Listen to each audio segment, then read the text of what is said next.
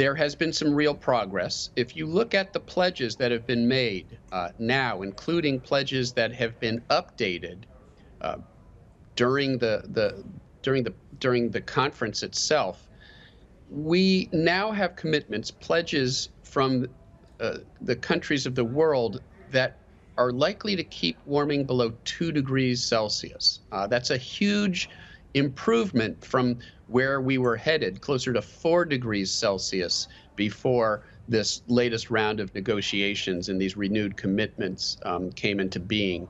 So we've made some real progress, but that's not good enough. We've got to get warming below one and a half degrees Celsius. We've got to get, get on a path that keeps warming below those levels if we are to avert the worst impacts of climate change. And so there's quite a bit of work left to be done. And let's also recognize that it's one thing to pledge uh, a, a, certain, uh, you know, uh, reduction in carbon emissions.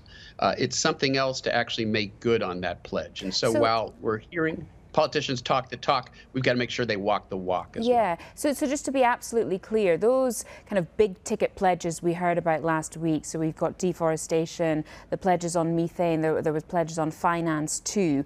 You don't think that that is enough in order to help achieve the target of keeping uh, global warming to, to 1.5 degrees? You don't think they've done enough yet?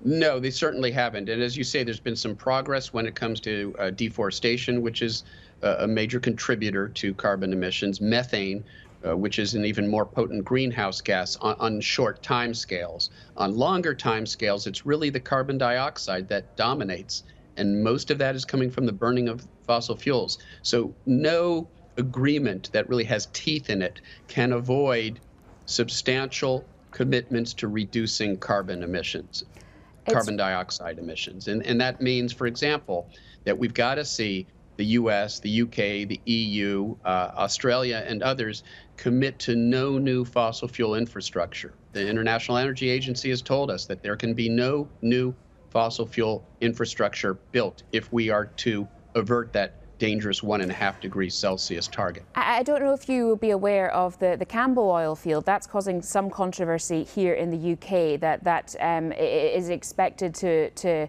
go on stream um, west of Shetland. And you know, it has been it has been kind of a thorn in the side for, for many politicians over here, and and the argument would be that actually we, we do need to keep drilling for oil here in the medium to long term, because if not, then then we're going to have to import it, and that that won't be as climate friendly. What do you make of that argument? Yeah, so uh, that that doesn't really stand up to scrutiny. Um, you know, there uh, is quite a bit of potential actually in the UK for expanding renewable energy. Um, and uh, there are, you know, uh, enough other sources, um, you know, of renewable energy that, that you can uh, import it if necessary. And in the end, it's still not as expensive as fossil fuels because the burning of fossil fuels not only uh, impacts air quality, um, there's a real health health care cost um, with the uh, air pollution associated with fossil fuel extraction and burning.